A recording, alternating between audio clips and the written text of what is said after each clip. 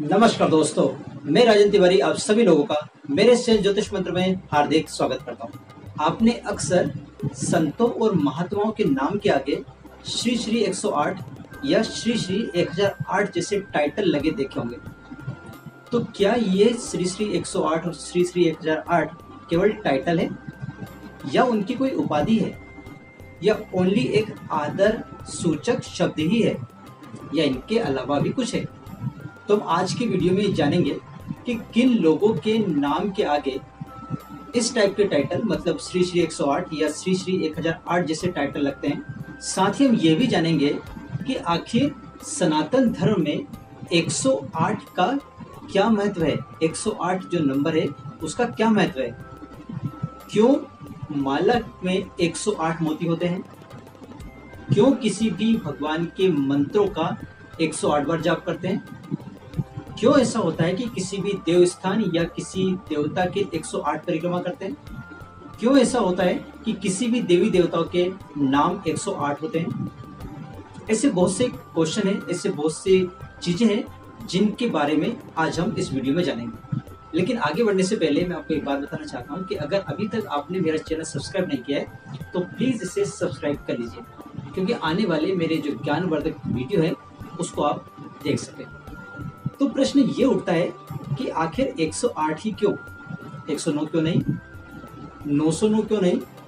9999 क्यों नहीं? कोई से भी हो सकता है। तो 108 ही क्यों लिया गया?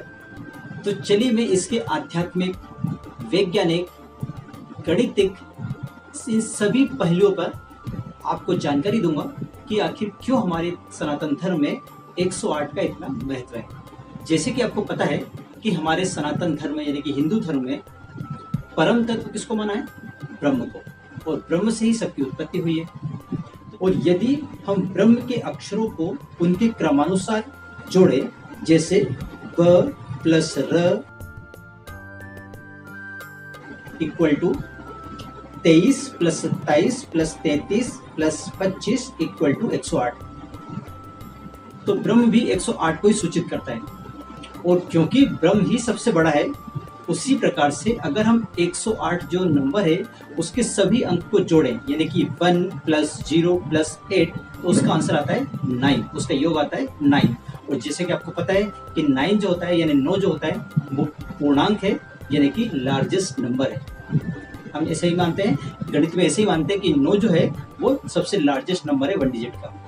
इस तरह से हम कह सकते हैं कि जो 108 है, वो परम ब्रह्म है। अगर इसको दूसरी तरह से समझा जाए तो जो ब्रह्म है, वो पूर्ण है और ब्रह्म का जो सिंबॉलिक फॉर्म है, वो है ओम ओम अक्षर। इसी तरह से ब्रह्म का जो मैथमेटिकल फॉर्म है, वो है वन ज़ीरो एट यानी एक सौ आठ। इस तरह से ब्रह्म शून्यता और अनंत विश्व के संयोग को ही 108 कहा गया चलिए मैं 108 के कुछ वैज्ञानिक रोचक तथ्य बताता हूँ। अगर आप सूर्य और पृथ्वी के बीच की जो डिस्टेंस है, उसको अगर सूर्य के डायमीटर यानी सूर्य के व्यास से डिवाइड करते हैं तो उसका आंसर आता है वन ज़ीरो एट इसका मतलब ये हुआ कि आप सूर्य और पृथ्वी के बीच में 108 सूरज रख सकते हैं। चलिए दूसरा तथ्य बताता हूँ। अगर आप सूर्य के डायमीटर को यानी सूर्य के व्यास को अगर पृथ्वी के व्यास से डिवाइड करें तो भी उसका आंसर वन ज़ीरो एटी आता है। चलिए, ये भी कम पड़ता है तो एक और तथ्य बताता हूँ कि पृथ्वी और चंद्रमा के बीच की डिस्टेंस को अगर चंद्रमा के डायमीटर यानी चंद्रमा के व्यास से डिवाइड किया जाए तो उसका आंसर भी 108 आता है।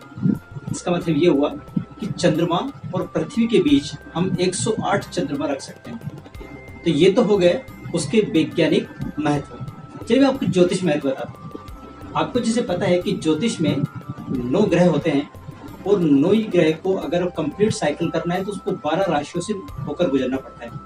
यानी कि नौ का इंटू अगर हम बारह में करते हैं तो आता है एक सौ आठ। दूसरा तथ्य बताता हूँ, वो भी ज्योतिष से रिलेटेड है। जैसे कि आपको पता है कि जो नक्षत्र होते हैं, वो कितने होते हैं? Twenty seven twenty seven total नक्षत्र होते हैं, और आपको ये भी मालूम होना चाहिए कि एक नक्षत्र में चार चरण होते हैं। तो अगर हम ट्वेंटी सेवन का फोर से इंटू करते हैं तो उसका आंसर भी 108 ही आता है। ये हुआ उसके ज्योतिषी महत्व। तो ऐसे कई तथ्य है जिनके आधार पर हम कह सकते हैं कि 108 का हमारे सनातन धर्म में कितना ज़्यादा महत्व है।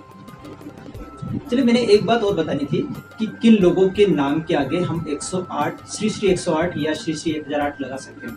जैसे कि आपको पता है कि सनातन धर्म में या हिंदू धर्म के अनुसार हमारे कुल 108 उपनिषद है। तो जो व्यक्ति को इन 108 उपनिषदों का ज्ञान होता है, या उन लोगों ने इन उपनिषदों का अध्ययन किया होता है, उसका ज्ञान होता है, ऐसे लोगों के नाम के आगे हम श्री श्री 108 लगा सकते हैं। या फिर आयुर्वेद के अनुसार हमारा जो शरीर है, उसमें कुल 108 एनर्जी पॉइंट है। ऊर्जा के स्रोत हैं या कह सकते हैं ऊर्जा के बिंदु है।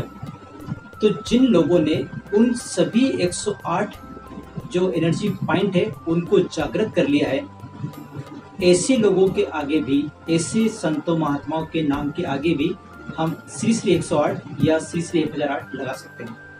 तो ये थी जानकारी, सनातन धर्म में 108 का क्या महत्व है।